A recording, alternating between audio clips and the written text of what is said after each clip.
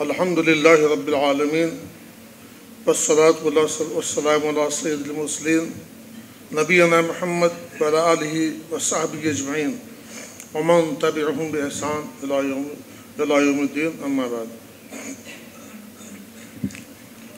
صديق محترم معايدين جماعات محاضرين علماء ودعاة أئمة ومدرسين آج کے اس دو روزہ تحریریہ میں مجھے موقع دیا گیا ہے۔ افتاح کے لیے لازمی علمی معیار کیا ہے اس کی وضاحت کروں۔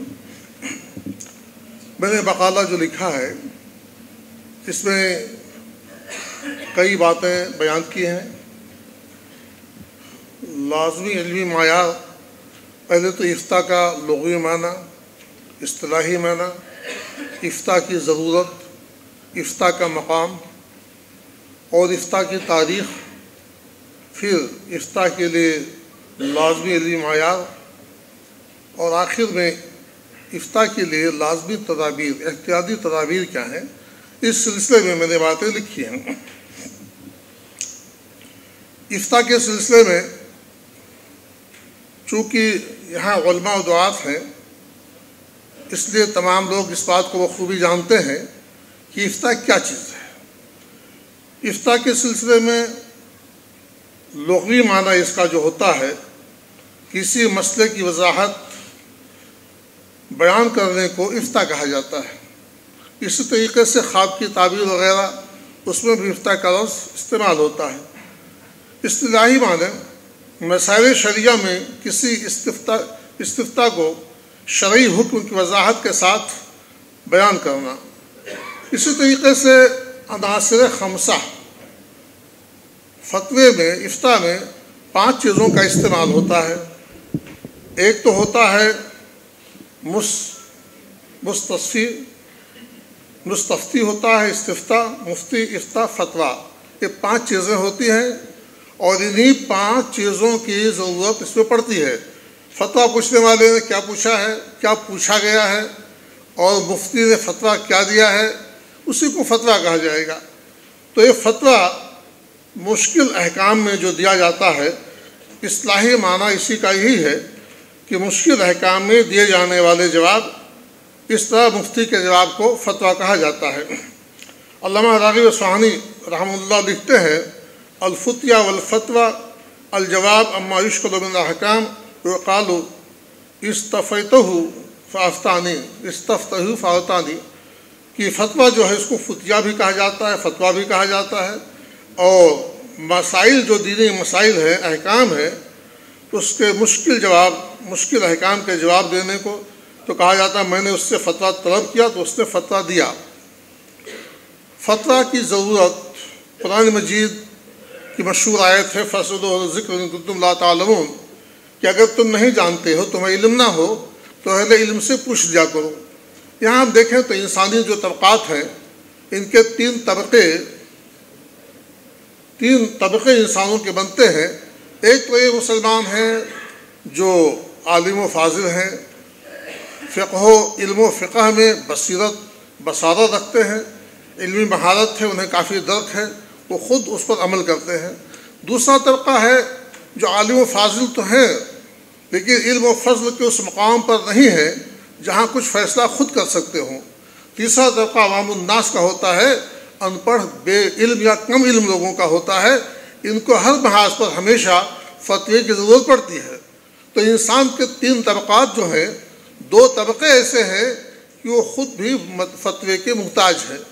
ضرورت پڑنے پر ان کو فتویٰ پوچھنا پڑتا ہے اور اس سلسلے میں دیکھیں مشہور واقعہ جو ابو داود میں ہے۔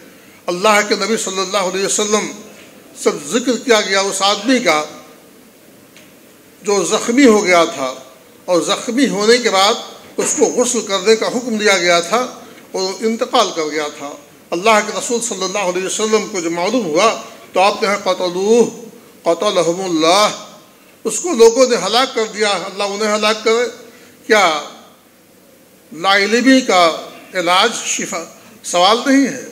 یعنی سوال کرنے مسئلے کو صحیح طور سے پوچھ لینا چاہیے۔ تو جب علم نہ ہو، تو علم حاصل کرنا چاہیے، مفتی حضرات کا رجوع کرنا چاہیے۔ یہ افتا کی ضرورت ہے۔ اسی طریقے سے کم علم یا بے علم جو لوگ ہوتے ہیں، ان کو بھی فتوے کی ضرورت پڑتی ہے۔ اس لیے کہ ہمارا مشاہدہ ہے لوگوں کا۔ عام جو علماء ہیں، ان میں اتنی صلاحیت نہیں ہوتی ہے۔ اگرچہ دس آٹھ سال، دس سال وہ مدارس میں لگاتے ہیں کہ وہ فتویٰ دے سکیں؟ لیکن اس کے علاوہ جن میں صلاحیت ہے، اہلیت ہے، مسائل کو جانتے ہیں اور جو ان سے پوچھا جاتا ہے، اس کے دلائل سے واقف ہیں، ایسے حضرات اگر خاموش رہیں گے تو یہ شدین جرم ہوگا۔ علم کی اطمان علم میں آئے گا۔ علم کو چھپانا نہیں چاہیے۔ جہاں ایسے مسائل کی ضرورت ہو، وہاں پر کھول کر بیان کرنا چاہیے۔ اس لیے کہ اطمان علم جو ہے، اس پر اللہ کی لانت اور دوسرے لوگ لانت کرنے والوں کی لانت بھیجی گئی ہے، تو اہل علم کے لیے اس میں اور نبی کریم صلی اللہ علیہ وسلم کی ایک مشہور حدیث ہے کہ منصور علم علم ہو سم قتم ہو الجم یوم القیامہ بلجام من النار۔ کہ اگر کسی شخص کو کوئی مسئلہ پوچھا گیا، وہ مسئلے کی گہرائی سے گہرائی سے، اس کے علم و دلائی سے واقف ہے، پھر بھی وہ مسئلہ نہیں بتاتا ہے، تو کہتے قیامت کے دن اس کو آگ کا لگام پہنایا جائے گا۔ تو اس طریقے سے اہل علم پر ضروری ہے کہ اگر ان کے پاس علم ہے تو اس کی وضاحت کریں۔ اسی طریقے سے افتا کا مقام۔ افتا کے مقام افتا ایک عظیم الشان مقام ہے۔ اور زبردست اسی کو اند العلماء و رسول الانبیاء جو کہا گیا کہ بے شک علماء علماء دین، انبیاء کرام کے وارث ہیں۔ قرآن مجید جب ہم پڑھتے ہیں تو قرآن مجید میں فتویٰ کی نسبت اللہ نے دوجگاہ خود اپنی طرف فرمائی ہے، قل اللہ افطیق فی ہننا دوسرے کا اللہ قل اللہ افطیق فی الکلالہ۔ کہ اللہ تعالیٰ ان عورتوں کے بارے میں یا کلالہ کے بارے میں تمہیں حکم دیتا ہے۔ تو قرآن میں دو جگہوں پر یس تفتون کا بھی آیا ہے کہ لوگ آپ سے فتویٰ طلب کرتے ہیں۔ اس طریقے سے خواب کی تعبیر کے بارے میں قرآن میں آیا، یا ہو ملو افتونی فی رویا اے میرے درباریوں میرے خواب کی تعبیر بتاؤ۔ قرآن میں ایک جگہ فس اہم اشد و خلق نمن خلقنا۔ ان سے پوچھو کہ اہم اشد و خلقہ کیا وہ ان کا بنانا مشکل ہے؟ یا جو مخلوقات ہم نے بنائی ہیں، ان کا بنانا مشکل ہے؟ تو قرآن کریم میں اس طریقے سے پندرہ مقامات پر تقریباً یس ادور کا آیا ہے کہ لوگ آپ سے سوال کرتے ہیں۔ تو یہ منصب رسالت کا تقاضا تھا۔ آپ ان کے سامنے مسائل کو کھول کر بیان کرتے تھے اور آپ کی ذمہ داری تھی، قرآن نے کہا ونزلنا ضلع علیہ کا ذکر لناس معاون سے علیہم و یہ ذکر کتاب ہم نے نازل فرمائی ہے آپ کی طرف، تاکہ لوگوں کی طرف جو کچھ نازل کیا گیا ہے، آپ اس کی تبیین و توضیح کر دیں، کھول کھول کو بیان کر دیں۔ تو منصب رسالت پر فائز ہونے والے سب سے پہلی شخصیت نبی کریم صلی اللہ علیہ وسلم کی ہے۔ اللہ تعالیٰ نے آپ کو اس پر فائز کیا تھا، آپ اس پر عمل پیدا تھے۔ ما اسدکم علیہ من اجر وما انا ملفیر اے پیغمبر، کہہ دو، میں تم سے اس کا صلاح نہیں مانگتا ہوں اور نہ میں تکلف کرنے والا ہوں۔ امام شاطبی رحمۃ اللہ علیہ نے امت میں افطا کی اہمیت کو جتاتے ہوئے لکھا ہے، المفتی قائم فی الامہ مقام النبی صلی اللہ علیہ وسلم، لین العلماء ورسول الانبیاء۔ لم ورسول دینار ولا درہما وانما ورسول العلم. مفتی امت میں نبی کریم صلی اللہ علیہ وسلم نیابت کرتا ہے کیونکہ علماء امت کیونکہ علماء انبیاء کے وارث ہیں، جیسا کہ حدیث سے معلوم ہوتا ہے، جس میں آپ نے فرمایا صلی اللہ علیہ وسلم، علماء کرام، انبیاء کرام کے وارث ہیں اور حضرت انبیاء انہیں دینار اور درہم کا وارث نہیں بنایا، بلکہ علم کا وارث بنایا ہے۔ اسی طریقے سے استفتا کی تاریخ فتویٰ افتا یا استفتا تو اس کی تاریخ خود نبی کریم صلی اللہ علیہ وسلم کے عہد معاہدہ سے شروع ہوتی ہے۔ اس طرح افتا کی تاریخ بھی یہی ہے۔ خود قرآن میں یس تفتون کا یسدون کا اشارہ کیا گیا ہے۔ تو نبی کریم صلی اللہ علیہ وسلم کی زندگی میں کسی کو بھی مسائل شریعہ میں لب کشائی کی جسارت نہیں ہوتی تھی۔ آپ کے وفات کے بعد اہل علم، صحابہ کرام اس منصب پر فائز ہوئے۔ خطفۂ راشدین اس لیے مکہ میں، مدینہ میں، بصرہ میں، کوفہ میں مختلف علاقوں میں جنہوں نے خدمات انجام دی ہیں، ان کے نام کو یہاں تفصیل سے بیان کیا گیا ہے۔ اور اس کے آگے لکھا گیا ہے کہ ایک گروہ اہل حدیث کا تھا، جو کتاب اللہ اور سنت رسول اللہ صلی اللہ علیہ وسلم صحابہ کرام کے فتووں کی بنیاد پر فتویٰ دیا کرتا تھا۔ اس گروہ گروہ میں علماء حجاز کی اکثریت غالب اکثریت تھی۔ دوسرا گروہ عید الرائے کا تھا، جو نصوص شریعہ کے تشریح، ان کے عقلی معنی و مفہوم کی روشنی میں کرنے پر زور دیا کرتے تھے۔ اس گروہ میں فقائے عراق کی غالب اکثریت تھی، بلکہ عبد القادر کریم شہرستانی نے عہد الرائے کے نو افراد کے نام گنوائے ہیں اور ان کا اصول بیان کیا ہے کہ ان کی زیادہ تر توجہ قیاس اور احکام کے مستمت معنی کی طرف ہوتی تھی۔ بسا اوقات وہ اخبار احاد حدیث پر بھی قیاس سے جلی کو مقدم رکھتے تھے۔ اس طرح بتدریج فتویٰ کا اجرا اشتہاد کے بجائے تقلید کی بنیاد پر ہونے لگا۔ اکثریت نے کتاب و سنت کو پس پش ڈال دیا اور فقہ میں مختلف گروہ گروہ میں بڑھ گئے۔ یہاں تک کہ فقہ اہل حدیث پر مقلد فقہ غالب آ گئے اور ان کی طرف باقاعدہ کفر کے فتوے منسوخ کیے جانے لگے۔ جس کا ذکر جو ہے حجت اللہ البالغہ میں شاہ ولی اللہ صاحب نے تفصیل سے کیا ہے، اور پھر آہستہ آہستہ تقلیدی جمع ٹوٹا اور بہت سارے علماء ایسے آئے جنہوں نے کیا و سنت کی روشنی میں فتوے دینا شروع کیے، جس میں امام محمد الحمبل بخاری، امام تیمیہ، ابن القیم، ابن حضرت اسقلانی، محمد الحاب قاضی شوکانی وغیرہ وغیرہ، ان لوگوں کے فتوے پھر بر صغیر ہندوستان، پاکستان میں بھی بہت سے علماء گزرے ہیں جن کے فتوی کی کتاب ماضی قریبی بھی چھپ چکی ہے۔ ان کا میں یہاں ذکر نہیں کروں گا۔ اب افطار کے لیے آخری بات لازمی شرائط جو ہے، کیا ہونی چاہیے؟ تو اللہ تعالیٰ نے عام مسلمانوں کے کو حکم دیا ہے کہ لا علمی کی صورت میں اہل علم سے مسائل پوچھ لیا کریں۔ فص ذکر ان کو تم لا تعلم تمہیں علم نہ ہو تو اہل علم سے پوچھ لیا کرو۔ اب سوال یہ علم کیا ہے؟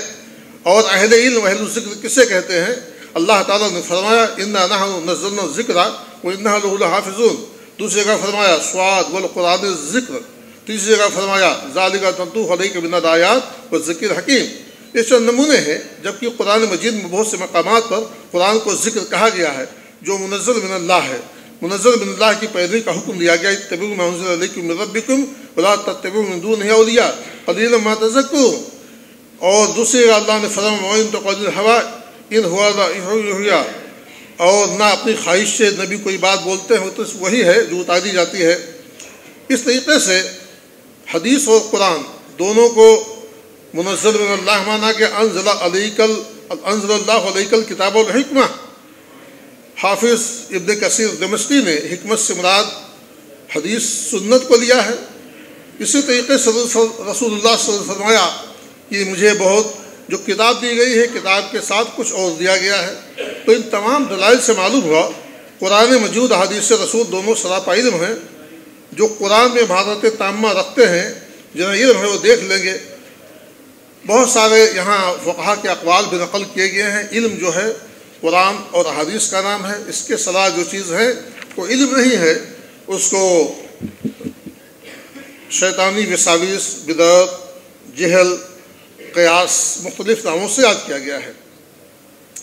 اس طریقے سے بہت سارے اقوال کے بعد پتہ یہ چلا منصب افتاح کے لیے ہمیں منصب افتاح کا لازمی علمی جو یہ ہے، معیار امام احمد رحمۃ اللہ فرماتے ہیں، جو شخص اپنے آپ کو منصب افتاح پر فائز کرے، اس کے لیے ضروری ہے وہ وجوہ قرآن اساند صحیحہ سنن کا عالم ہو، آپ سے مروی ایک دوسرے رایت میں فتویٰ دینا صرف اس آدمی کو جائز ہے جو کتاب و سنت کا عالم ہو۔ اس طرح امام شافی رحمۃ اللہ علیہ فرماتے ہیں، اللہ تعالیٰ کے دین کے بارے میں کسی شخص کے لیے اس وقت تک فتویٰ دینا حلال نہیں ہے، جب تک کتاب اللہ، اس کے ناسخ منسوخ محکم متشاب تعویل، تنزیل، مکی مدی صورتوں، ان کے معنی مطالب سے آگاہ نہ ہو۔ حدیث رسول اللہ صلی اللہ علیہ وسلم اس کے ناسخ منسوخ، قرآن ہی طرح حدیث سے متعلق دیگر امور سے آگاہ نہ ہو۔ اس سے لغت، شعر کا بھی اس قدر علم ہو جو قرآن و حدیث کے سمجھنے کے لیے ضروری ہے۔ مختلف علاقوں کے اہل علم کے اختلافات کا بھی اسے علم ہو، نیز اسے طبعی ملکہ بھی حاصل ہو۔ اگر اس میں یہ باتیں موجود ہوں تو حلال و حرام کے بارے میں فتویٰ دے سکتا ہے، اور اگر موجود نہ ہو تو اس سے فتویٰ نہیں دینا چاہیے۔ پتہ چلا کہ منصب افتاح کے لیے ایسے شخص کا انتخاب کرنا چاہیے جسے قرآن و حدیث پر عبور حاصل ہو، علم و تفقع کی پہچان ہو۔ استعمال و استخراج کا جس سے ملکہ حاصل ہو، ہوش مند ہو بابصیرت ہو، زمانہ سناش ہو بیدار مغز ہو، تاکہ صحیح معنوں میں فتویٰ دے کا حق ادا کر سکے۔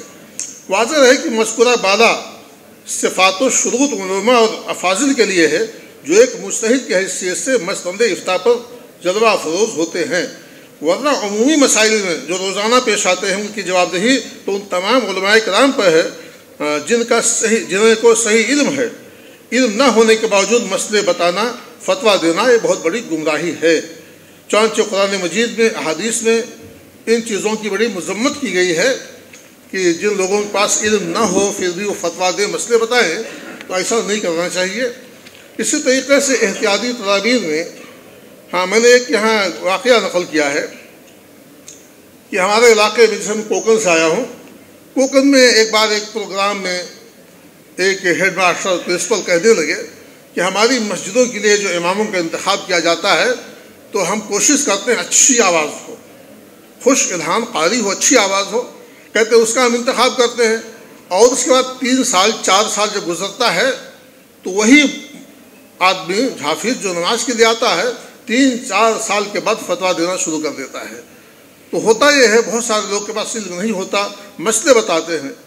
اسی پر ہمارے وہیں پہ بغل کے مسجد صاحب، بمبئی میں آئے، امام صاحب مسجد میں آئے، حافظ ہیں، پندرہ سال سے امامت کر رہے ہیں اور کئی لوگ ان کے ساتھ میں تھے میزبان نے انتظام کیا تھا، مغرب کی نماز پڑھانے کے لیے آگے ہوئے، دو رکعت نماز پڑھائی، سلام پھیر دیے لوگوں نے کہا، بھائی، یہ کیا؟ آپ نے دو رکعت پڑھائی ہے؟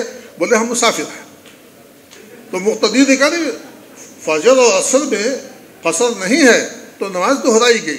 تو پتہ ہے چلا بھائی افتا کا بڑا اہم مقام ہے۔ جن کے اندر صلاحیت اللہ نے دی ہے وہی کو فتویٰ دینا چاہیے، ورنہ فتوے سے دور رہنا چاہیے۔ اور ہمارے اسلاف جو گزرے ہیں، اسلاف کی عادت یہ تھی، فتویٰ دینے سے احتراج کرتے تھے۔ ایک مسئلہ یا ان کے پاس، ان کے پاس، ان کے پاس۔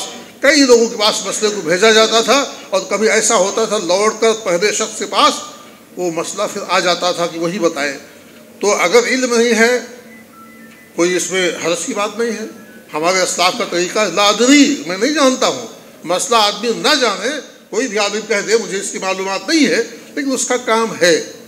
کھوج لگانا، بتانا، بڑے مفتی سے رابطہ قائم کرنا، کتابوں کو پڑھنا، تلاش کرنا۔ تو یہ احتیاطی تدابیر میں افتا میں یہ ضروری ہے۔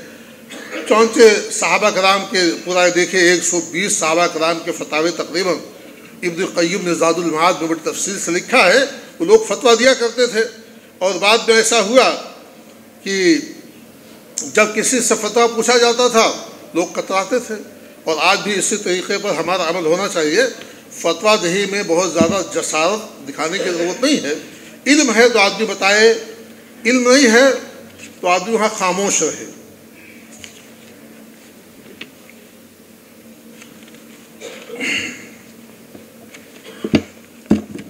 تو یہ چند نکات ہیں جو میں نے یہاں بیان کیے ہیں۔ انشاءاللہ یہ مقالے کی شکل میں چھپے گا، آپ لوگ سے پڑھیے گا۔ اللہ تعالی ہم سب کو اچھی عمل کی توفیق عطا فرمائے۔